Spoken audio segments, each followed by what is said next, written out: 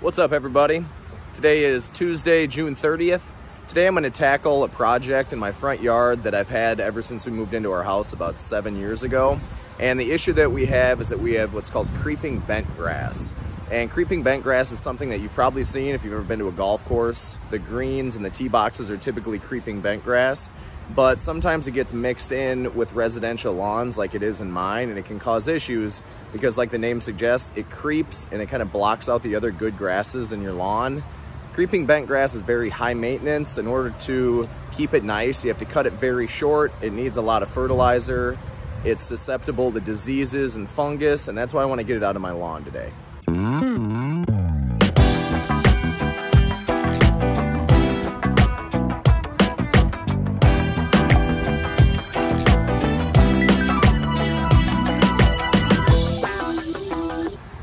There's a few different options that you have when it comes to getting rid of creeping bent grass. The first one would be to just use Roundup and kill off the whole area.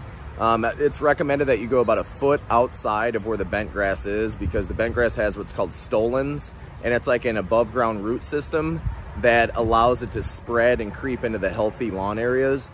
So I'm not gonna do that because I don't wanna kill off my yard and kill the good grass that I have. And I don't wanna have a big brown spot in my lawn for most of the summer and hope that the seed comes in and battle weeds and all that stuff.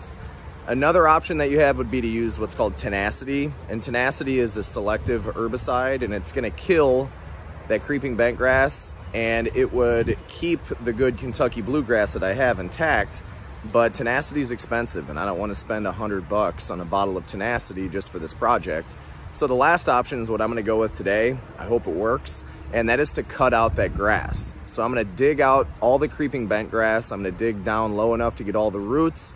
I'm gonna fill in some topsoil and I bought some sod at my local nursery. 100% Kentucky bluegrass sod that's made locally.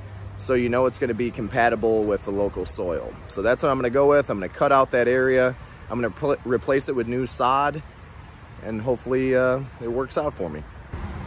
If you've never seen creeping bent grass before, this area right here is all creeping bent grass.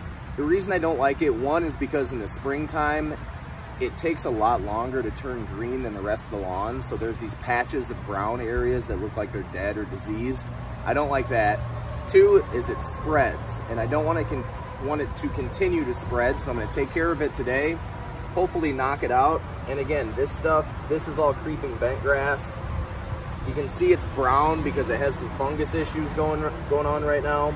I don't like it. I don't like the way it looks. It doesn't match with the rest of the grass. And again, it's got this kind of shallow root system that goes near the top of the soil. So I'm hoping I don't have to dig out too deep today. I'll keep digging until I continue to see roots. Once I don't see roots anymore, that'll be where I'll, where I'll stop. I'll put in some topsoil put the new sod on and hope it doesn't come back. So this area of creeping bent grass right here, the way I'm gonna get rid of this or cut it out or figure out exactly how much I should cut to make it look nice is I'm gonna roll the sod out over top of that. I'm gonna put the entire piece of sod on here. Even though the piece is bigger than the actual area of bent grass, that's okay. Because I'm just gonna replace it with one piece of sod. I'll edge around the outside with my sod cutter then I'll move the piece of sod. I'll already have my outline. I'll cut all that grass out. I'll dig down a little bit, make sure I get all the roots out. I'll fill in any soil that I need to replace, and then I'll put the brand new sod right over top of that.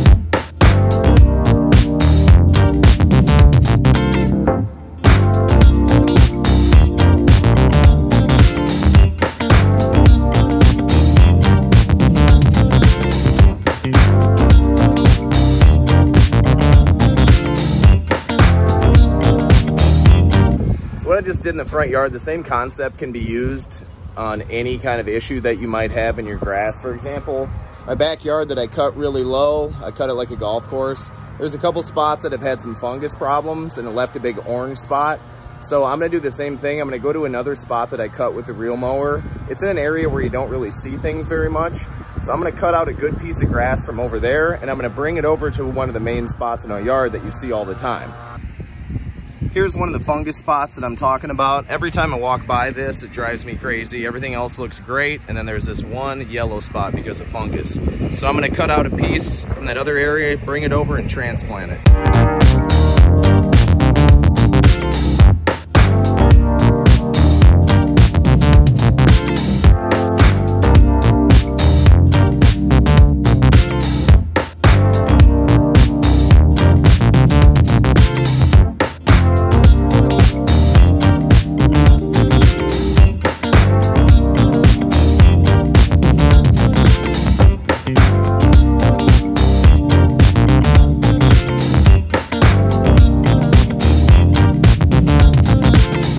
Spot that was dead looking and ugly is now gone. I mowed everything, I gave it a little bit of water and I pressed it down and rolled it to make sure it was nice and smooth.